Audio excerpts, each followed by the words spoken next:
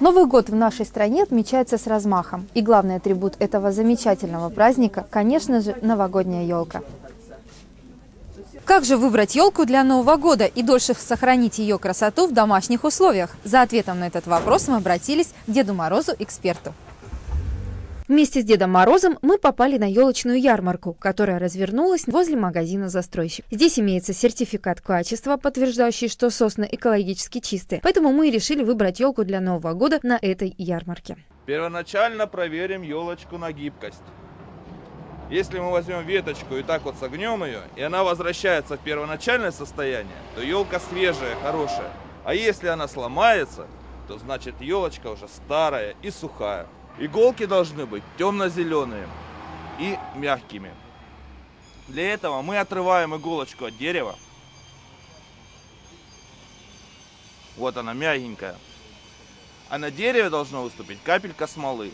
Значит дерево у нас свежее, свежесрубленное. Значит мы ее возьмем. И последнее. Возьмите ель в районе середины и резко ударьте спилом о землю. Если с елки упали иголочки, значит дерево старое, и оно у нас долго не простоит. А вот у нас вот даже ни одной иголочки не упало, значит это дерево у нас простоит весь Новый год и будет радовать нас и наших детишек.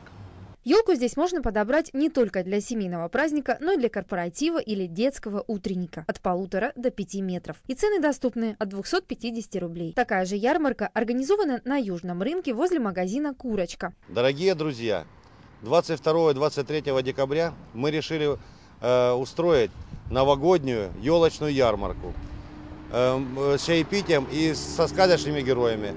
Будем очень рады вас видеть. Ярмарка будет проходить с конкурсами, на которых разыграется главный приз «Елка». А для всех покупателей лесной красавицы в эти дни предусмотрены подарки. Геннадий Шаталов более 10 лет занимается поставкой и реализацией лесных красавиц из Ульяновской области. Самые большие поставляет на детские утренники в ДК, детские сады, а детям-инвалидам в этом году он привез елки бесплатно, чтобы у них появилось праздничное настроение. Как дольше сохранить елку дома? Чтобы купленное дерево дольше стояло в квартире и не теряло свою красоту, красоту нужно провести ряд мер. Прежде всего, не стоит сразу заносить лесную красавицу в дом. Нужно первые пару часов подержать елку в коридоре, а уж потом вносить ее в квартиру. Можно установить новогоднюю красавицу, используя вот такую подставку, но лучше всего ставить в катку с песком. При этом, чтобы елка не теряла свою красоту и аромат, в песок следует добавить пол-литра воды, предварительно растворив в них 2 столовые ложки сахара и таблетку аспирина. Ну и напоследок, хочется пожелать выбрать красивую новогоднюю елку, под которой загаданные желания обязательно обязательно сбудутся. С наступающим вас Новым годом! Инна Костромина, Дмитрий Лысцов,